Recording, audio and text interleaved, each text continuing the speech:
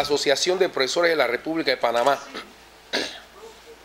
en honor a su responsabilidad como gremio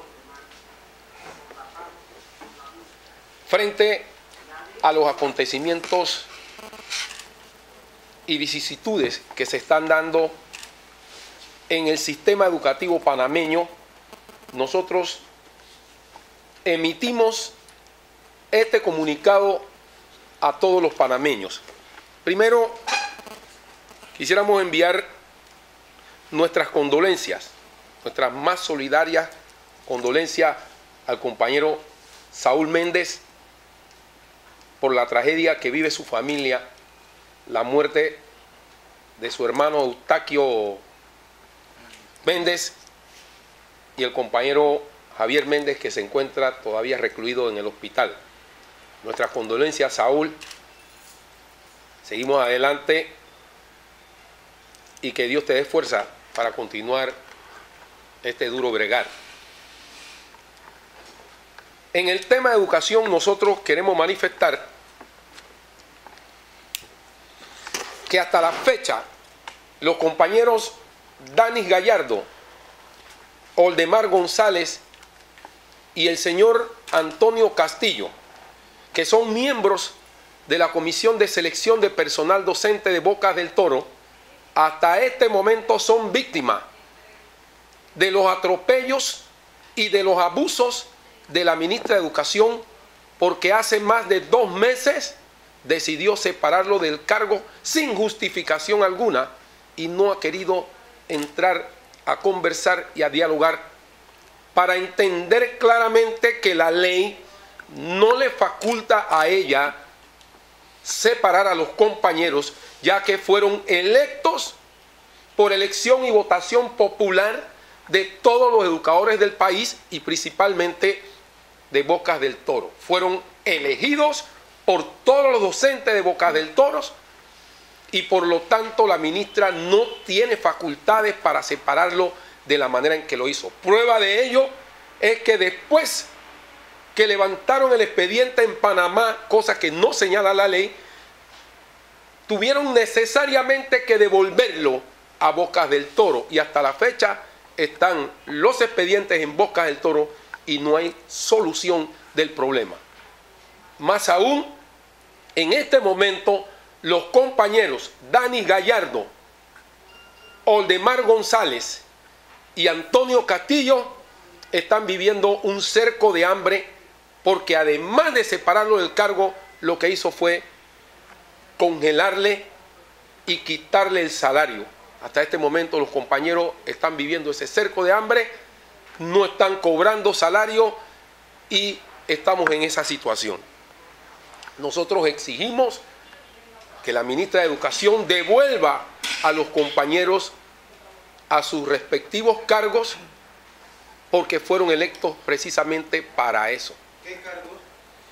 Son miembros de la Comisión de Selección de Personal de Bocas del Toro, que son los encargados de elaborar las ternas, revisar las ternas de todos los concursos de docentes, directores, subdirectores y supervisores administrativos del Ministerio de Educación.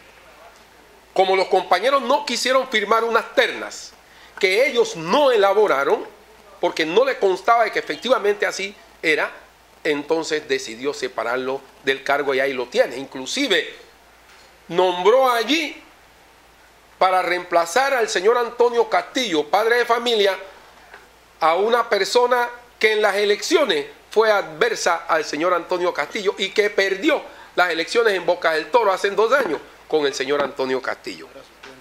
Era, ni siquiera era suplente ni siquiera era suplente, sino que fue la adversaria de Antonio Castillo. O sea que en las elecciones perdió con Antonio Castillo. está usurpando el cargo en este momento. Entonces, finalmente nosotros manifestamos que hasta la fecha, pueblo panameño, compañeros docentes, la ministra ha decidido ya no hablar más, porque eso ya lo ha manifestado, y el diálogo con la ministra hasta este momento se ha hecho imposible, porque la señora ministra, con el respeto que nos merece, ha decidido de que puede avanzar en el sistema realizando cambios improvisados sin la participación de los educadores. Y es lo que tiene en este momento la educación en crisis. Y por esa razón, en las encuestas, la ministra ha tenido un bajón importante en su gestión. Yo creo que eso es sinónimo de todo. Finalmente, no hay tal transformación curricular. ¿Por qué? No hay avances. Los índices de deserción escolar han aumentado el año pasado y lo que va de este año, principalmente en los IPTs, donde han sido eliminados los talleres. Los índices de fracaso en los 63 colegios que supuestamente están en, como plan piloto han aumentado igual. Y para los estudiantes con discapacidades y necesidades educativas especiales, también ha sido un fracaso porque estos niños se han visto y sus padres en la necesidad de sacar a los niños de los salones de clase porque no hay respuestas para ello, principalmente por la eliminación de los talleres en estos centros escolares. No hay un solo informe concreto, serio, que señale cifras sobre los resultados importantes que dice la ministra. Lo que sí es que está ofreciendo becas, viajes, laptops a los directores para que los directores inscriban el colegio que dirigen a esta llamada transformación curricular que de ninguna manera, ni siquiera con el 944, que es el mismo decreto de ella, este año debieran ingresar otros centros escolares al plan piloto, porque ese mismo decreto señala que el plan inicia en el año 2010 y culmina en el año 2012. Para eso se hace una evaluación y al final se ve dónde se dieron las dificultades y qué cosas son positivas. Pero ahora esto es un solo enredo, porque un año ingresaron, en el año 2010 ingresaron un grupo de colegios, este año ingresan otro grupo de colegios, el otro año otro grupo, y cuándo se va a evaluar, en qué momento se va a evaluar cada uno de estos centros que están ingresando a esta farsa. Esto es una farsa, un engaño del Ministerio de Educación y principalmente de la ministra, que se ha obstinado en que las transformaciones al sistema hay que iniciarlo desde la media. Nosotros y los expertos en educación han manifestado que debe iniciar desde los primeros años, los primeros niveles que es el preescolar. Finalmente, hablamos de las acciones, ya que no hemos podido, ha sido imposible el diálogo, ya le hemos entregado dos documentos propuestas a la ministra, una en el mes de mayo del año pasado y una el 27 de octubre del año pasado. Este año hemos enviado diversos mensajes por escrito y verbales y se nos ha hecho imposible ese diálogo con la ministra. Hemos tratado de llevar esto que iniciara el año de manera eh, pacífica, como hasta la fecha se ha dado, para no perjudicar a los estudiantes y como símbolo precisamente de la concepción que tenemos con los padres de familia. Los padres de familia y la comunidad son nuestros amigos y por esa razón responsablemente hemos mantenido las cosas como están ahora. Pero no podemos seguir permitiendo más atropellos y más situaciones incómodas por parte de la ministra, no más engaños, no más insultos, no más campaña de prestigio y no más persecución por parte de la ministra de Educación. Hay una propuesta que creo que es importante.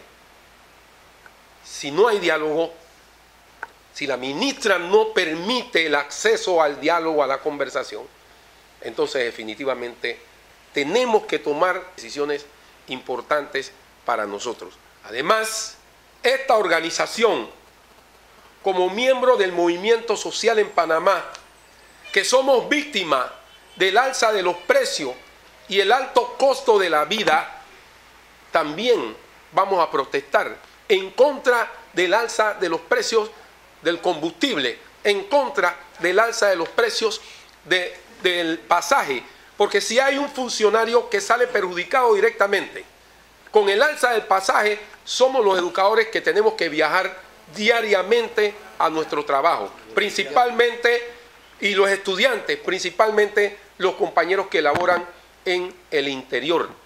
Estamos hablando de un aumento de, más del 21% del pasaje en la actualidad. Estamos hablando de aproximadamente 4 y, y, 20, 4.20, 4.10, un aumento que se va a dar en, en las provincias centrales, en el interior. Entonces nosotros nos manifestamos en contra rotundamente del alza del pasaje y el alto costo de la vida. Vamos a contribuir con nuestro granito de arena, como siempre lo hemos, manifestado, protestando en contra de una situación que ahora mismo afecta a todos los panameños.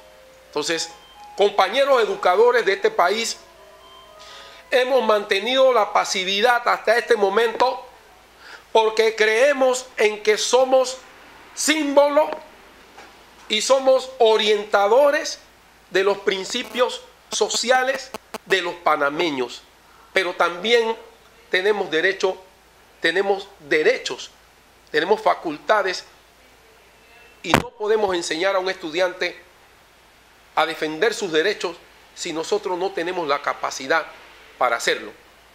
Y queremos manifestar finalmente que un educador luchando también está educando y que el educador que no se atreve a luchar no.